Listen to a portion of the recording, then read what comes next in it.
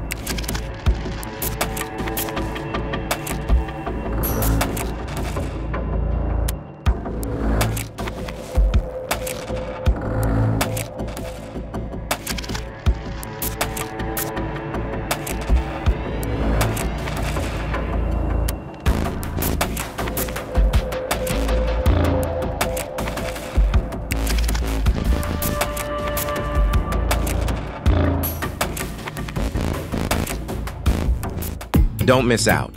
Follow One India for real-time updates.